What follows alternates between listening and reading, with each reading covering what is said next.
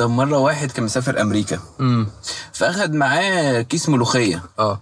المهم هو مسافر وصل مطار أمريكا راحوا قافشينه آه. قالوا له إيه ده؟ قال لهم دي ملوخية. مسكوها عملوا عليها أبحاث وكده لقوا فيها فيتامينات كتيرة جدا. امم فراح قالوا له إحنا عايزين الملوخية دي ونديك أي حاجة أنت عايزها. آه. قال لهم طب أنا عايز أحدث عربية. فلقاهم فعلا راحوا مدين له احدث عربيه أخدها ونزل البلد بقى فرحان قوي. آه. فابن عمه شافه وحكى له الحكاية فابن عمه كيفته الموضوع قوي فراح قال له طب خلاص أنا هسافر أجرب حظي.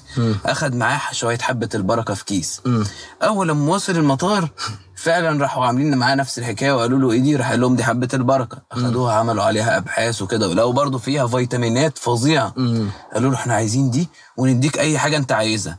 فقال لهم أنا عايز أحدث حاجة نزلت أمريكا. ادوا له كيس الملوخية. ضحكت ضحكت ماليش دعوه